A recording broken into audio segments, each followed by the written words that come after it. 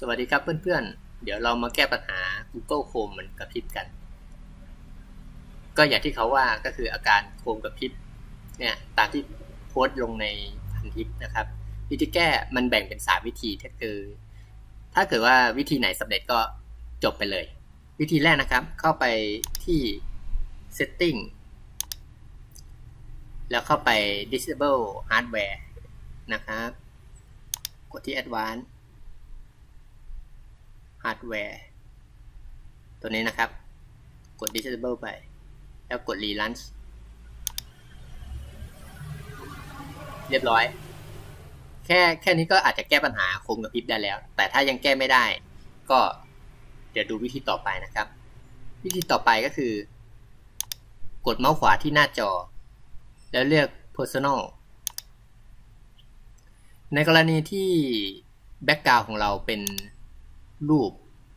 หรือ slideshow ให้ถ้าถ้าเป็น slideshow เนี่ย เปอร์เซ็นต์ที่จะกระพริบสูงมาก ก็แนะนำให้งดใช้ แต่ถ้าเกิดว่ายังอยากใช้ต้องเปลี่ยนขนาดของรูปให้น้อยกว่า 500K นะครับ แนะนำให้ใช้ที่ Picture อย่างเดียว เสร็จแล้วก็ลองใช้งาน Google Chrome ดู ถ้าหากว่าแก้ไขได้ก็ถือว่าวิธีนี้ผ่าน ต่อไปวิธีที่ 3 นะครับ ก็ให้มาดูที่ Color บางคนอาจจะใช้วิธีการเปลี่ยนสีของตัวเครื่อง ตรงนี้ครับตรงชุด your accent color เนี่ย ถ้าเกิดว่าใครติ๊กถูกอยู่นะครับ ตรงนี้เนี่ยให้เอาออก เพราะนี่เป็นต้นเหตุของการกระพริบอีกต้นเหตุหนึ่งนะครับ กดออกเลย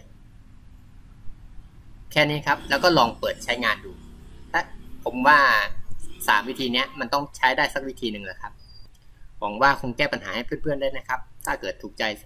คลิปนี้ก็อย่าลืมกดไลค์ กด subscribe กดแชร์นะครับ ขอบคุณครับ สวัสดีครับ